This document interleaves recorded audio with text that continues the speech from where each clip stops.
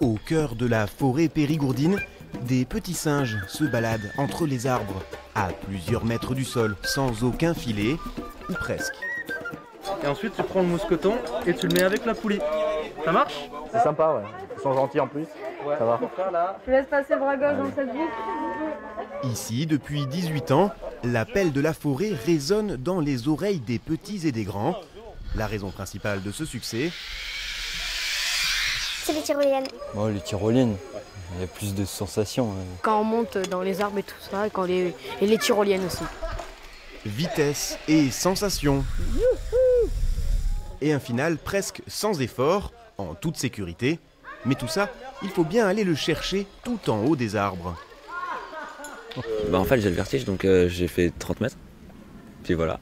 Oh, c'est sympa quand même. Ouais c'est sympa ouais mais j'ai le vertige. Ce parc Acrobranche propose 150 ateliers, du plus tranquille Difficile à appréhender, mais ça va.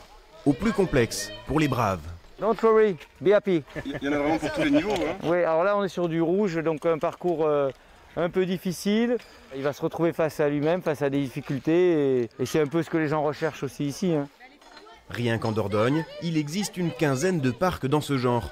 Passé l'effet de mode, ceux-ci se sont durablement installés dans le paysage des activités de pleine nature. À l'origine, c'était plutôt quelque chose d'assez technique et sportif, et ça, ça évolue vers quelque chose de plus ludique et plus accessible, euh, d'autant plus qu'en Dordogne, les, les touristes sont essentiellement constitués de familles, et il en faut pour tous.